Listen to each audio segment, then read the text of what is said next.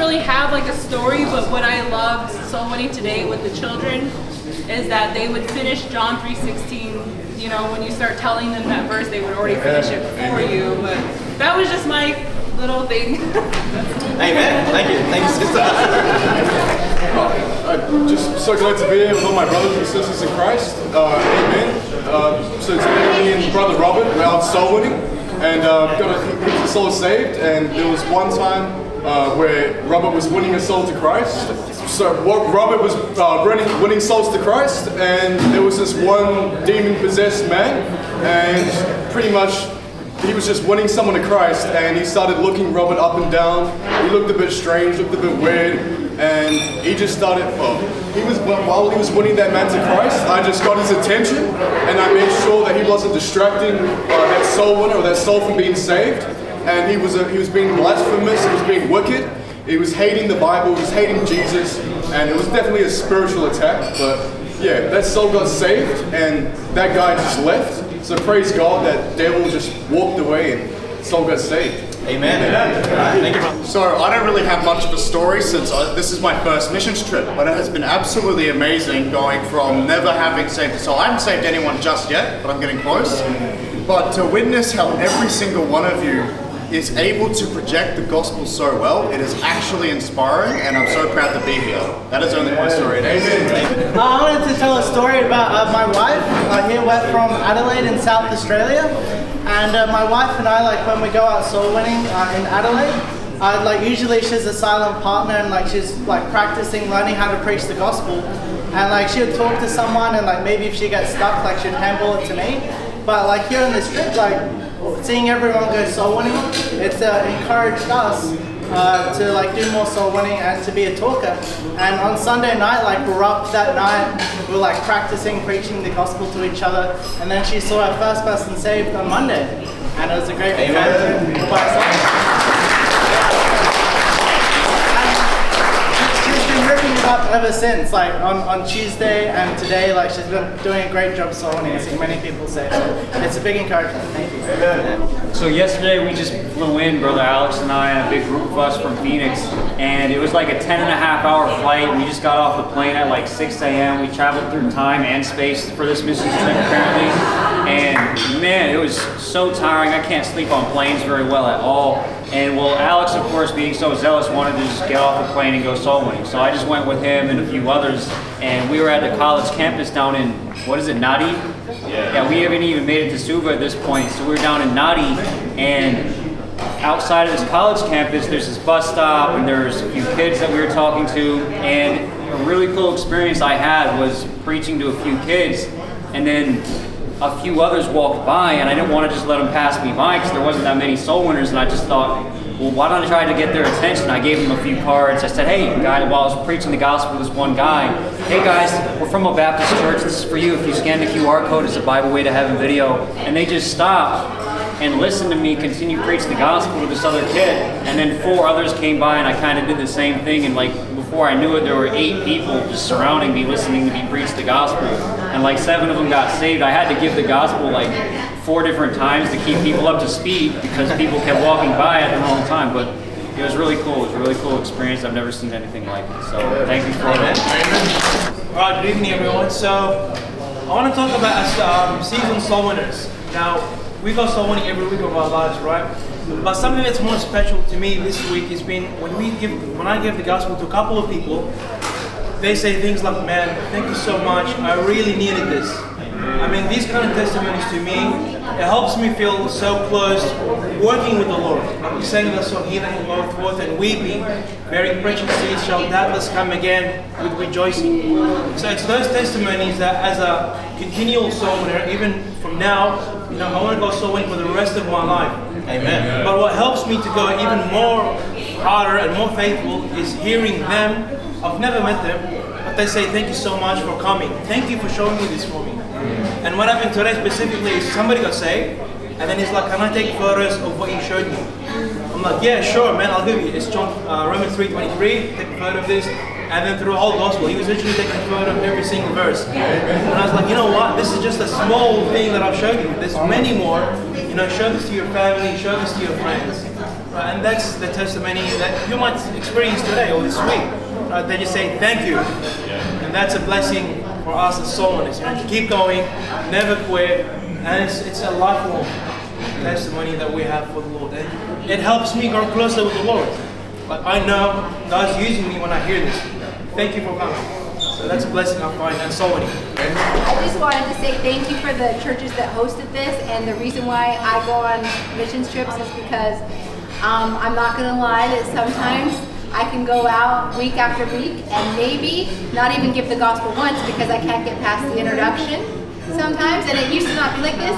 But when I and I get a little discouraged. I know we shouldn't because we're still sowing the seeds, and of course we still get rewards even if they don't get saved and all that. But when I go on missions trips, because I was exhausted going through time and space too.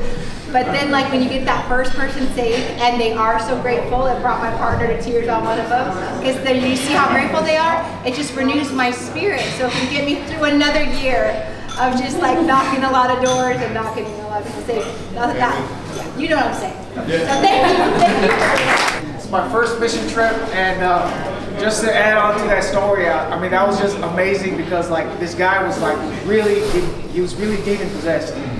I mean, I believe. And he was he was staring at us from across the street, Smiling. and he was smiling. He was giving some sort of demonic laugh, and I was preaching to this guy.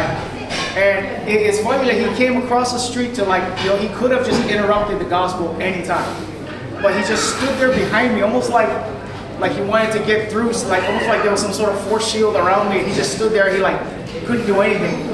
And then like he just turned around and then just went to my partner, and then my partner was able to distract him until I was able to get the guy saved. So to me, I mean that was a supernatural experience because like I mean I could be angels, could be mean that's the power of the Holy Spirit.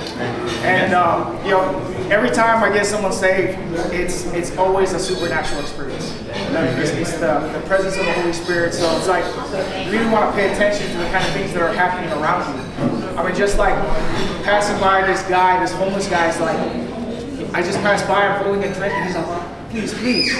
And then that scripture just got got through my mind. I was I was I was thirsty and gave me drink. You know, so it's like you never know. What if what if you're like talking to an angel unaware?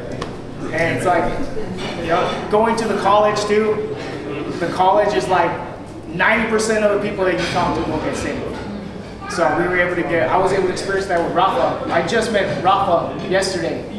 He was my silent partner. I, I felt like having him uh, be a silent partner and, and having him pray during that, my gospel presentation was like spiritual steroids. It just made that point. It- yesterday was the best day of my life as far as uh, soul winning. 24 is the most I've ever gotten in one day. I mean, that's just crazy. So, I mean, God, God truly is blessing this place uh, because they're humble and He's blessing them by sending us. So it, it is a blessing to be here. So going to the college today, the college was extremely receptive. If anybody hasn't been to the university yet, I highly recommend going there. And just to add on about uh, what this brother said about being thankful, a lot of people were very thankful today when I gave them the gospel. And actually, a lot of people offered to give me food to either pay for food or they already had meals that they had bought with their own money. And I sat down with them, and a lot of them they offered to give me some, some food. That happened probably four or five times a day. One guy he offered to buy me coffee. They were very grateful. They wanted to do something in return for me. And so the people here are very nice. They're very friendly. Uh, I think almost everybody you know you talk to, with few exceptions, they at least want to hear. Obviously, not everybody's going to get saved, but many people want to hear the gospel. They want to learn about it. So uh, I'd highly recommend going to the university if you haven't been there yet. So. Um, so I have two quick stories. Uh, so on Monday, I was with um, Larissa and this lady. We were preaching the gospel to two people, and so I saw this lady just walking by, back and forth. And when I was done preaching the gospel, she came up to me and she said, "I want to hear the word of God." And so I preached to her, and she ended up getting saved.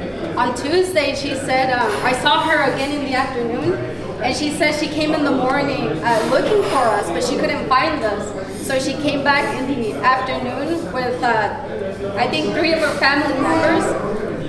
And uh, she, she encouraged them to listen to the gospel, and uh, Emilio preached to them, and I think two of them got saved. And she said that she wanted them to hear the gospel before they left the island. So that was that was pretty cool. And she was recording it, so that was pretty cool. Um, today we had a guy, me and Cassia had a guy um, that we approached, and he said that uh, he was very thankful as well. But he said that it's it's funny that we stopped him because he was gonna go to a job interview, and he was gonna have the taxi drop him off right in front of the, the job. But he he said that something inside of him said told the taxi man to drop him off at the corner, and so he walked and walked, and that's where we stopped him. And he's like, "This is this is a sign." And he said it's funny because his, his name in um, in Fiji is saved, and so he ended up getting saved as well. So had this experience too. All right, guys. Sorry, I'm gonna I'm gonna double up. I know some of you guys have heard this story already, but I can't get over it. So, my wife is similar to Sister Chloe. She's been a professional silent partner for three and a half years. Some of you know we were in Japan for a long time. She was a silent partner over there. Since she's been in Australia, she's been working up her courage, working up her courage. And so today she finally got her first solo salvation. Amen. But it was very interesting for two reasons. The first one is when I came back to her and apologized for taking my time, whatever I was doing, she said, Oh, it's okay. I just got two people saved while you were gone. oh, okay. Now, the way that she got them saved, we've always joked that our son, you've met, most of you probably have met him, he's so cute that he could be bait out of winning, right? Someone comes up to the little baby and they're like, Oh, and you preach the gospel today, right? So today, the woman that she got saved came up to say hello to our little baby. Hey, how you doing? And he grabbed onto her finger and he wouldn't let it go. she went to say, oh, sorry baby, I have to go to work. And he wouldn't let it go. so my wife clicks, oh, I have to give her the gospel now, I guess. Right, that's a sign. So this lady gets the gospel and she gets saved. Even a little baby, God can use to get saved. Isn't that amazing? So Sammy's first salvation as well.